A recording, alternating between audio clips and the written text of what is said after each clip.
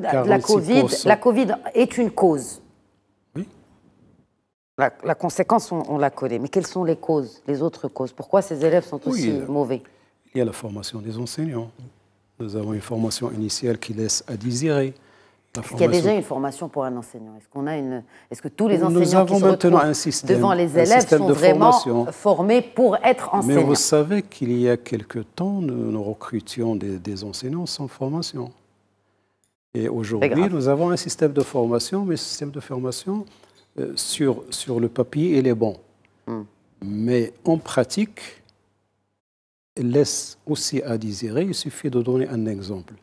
Aujourd'hui, rapidement, le concours de recrutement des enseignants va se faire le 16 décembre. Oui, oui. Ceux qui vont euh, réussir au concours vont faire la formation dans les CRMF. Mhm.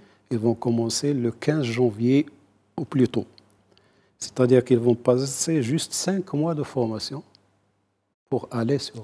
Mais ils ont passé un concours qui fait qu'ils sont éligibles à être formés ensuite pour être enseignants. Mais la formation, elle doit être euh, au moins une année. OK.